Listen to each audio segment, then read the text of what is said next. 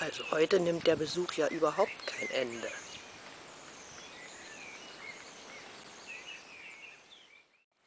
Wo bist du denn da drin?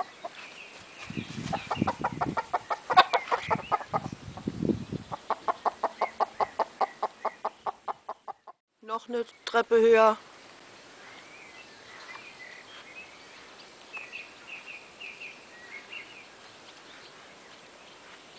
Du seid da beide da drin. Das gibt's doch wohl nicht.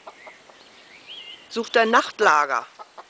Ja, ihr tut mir ja leid, wirklich. Ich kann euch nicht helfen.